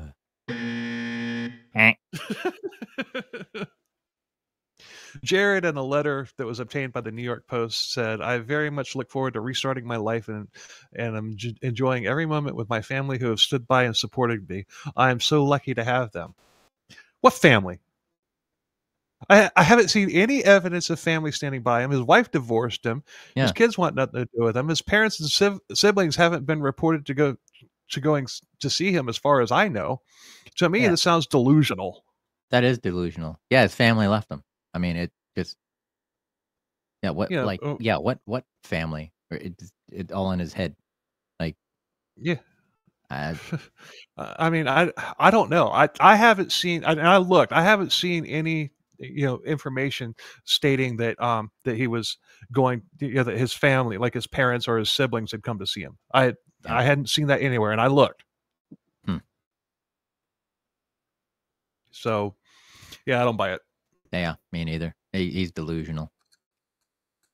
Yeah. Maybe he's now suffering from um, um schizophrenia, botulism botulism, schizophrenia. Yeah, no, schizophrenic. All right. Mm. i can't promise there won't be any more btk references but that, that series that series I, Yeah. that series was like a weight off my shoulders because of how horrible those the original two episodes I, I'm, I'm like shouting it out like- i'm shouting it to the world. I did btk the right way! So Uh, anyway but that's it. That's the that's the story of jared the subway pedophile i mean guy. Hmm yeah Yeah, that was a deep one, man. I tell you that. Uh, didn't know Yeah. didn't know that was coming yeah, there's a Didn't lot of No, that was in there I did not know. I did not. I'm like, Yes. what? yeah same here Ah, Yeah, I just knew the I just knew the basics. Yeah. and I thought that I thought it was going to be an episode. Oh, we'd get to rag on you know rag on a pedophile. mhm. I honestly thought that that's what we were going to do. Nope. Mm-mm. That was that was that was like psychological. yes, yes. And and I'm not I'm, I'm not even making fun of Todd when I say that this would that this episode would have broken him. I'm not even making fun of him. I'm I'm saying that because he is you know he's my friend and I know him. Mhm. You know. Yeah, I he would yeah, not have- he would- like, yeah, you have to respect that too. And it's like, man, and I respect Mhm. it too. I respect Todd for not not wanting to to cover. Well, he, he bases. He didn't know. He didn't know any more about this episode about this this case than I did. Yeah. Well, it's we just the talking fact, about it's just for the fact that you know it's there's pedophilia involved in it, and he I, he's like, I'd rather not have to sit and Yeah. listen to and have to reply to something other than saying that's fucked up. You know, Yeah, I mean, But- which it is. It's It really, is very. really fucked up. And I tell you what, for um, those who, and and for and when it comes to anything, when it comes to children, you know, for those who haven't, and not free marketing or anything, have you seen the Sound of Freedom? The movie, The Sound of Freedom. Good movie. no. I haven't. Good movie. It's about the bust of hundreds and hundreds, and saving hundreds, if not thousands, of children all all over the world of uh, child Oh, wow. Yeah, really. Check that out. I've heard of the movie. I I know the name of the movie. I just hadn't Yeah. seen it. But anyway, um, yeah. If you lasted this long, thank you for listening. Oh yeah. that was a rough one. Yes, it was. So Yes, it was. yeah, next next week we got we got we got a crazy one for you next week. Not, uh, yeah. Well, it's it's just it's just a crazy one, and it's from Florida. So Florida.